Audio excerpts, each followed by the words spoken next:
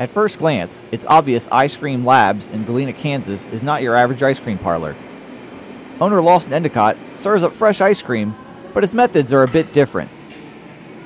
Making our ice cream with liquid nitrogen makes a big show for people to see. We have lots of fog whenever we make it, but the big idea between or why we make it with liquid nitrogen is because of the quality of ice cream that we get afterward. Endicott aims to give his customers a unique experience along with great ice cream. But outside of just what we make, we also have an atmosphere that resembles a classroom, a lab classroom.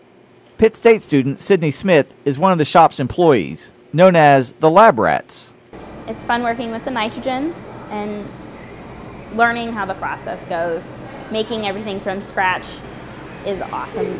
Having the experience in the kitchen and with people, it's, a, it's a really great experience working here.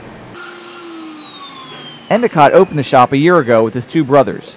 He chose the Galena location so he can attend school at Pitt State while also remaining close to his home in Joplin.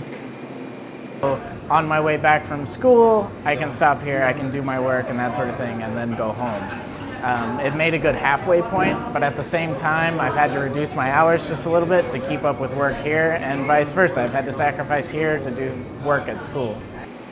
So if you're looking for fresh quality ice cream in an atmosphere that's a bit different and a bit foggy, stop by Ice Cream Labs in Galena. For Caps 13 News, I'm Ed Caffrey.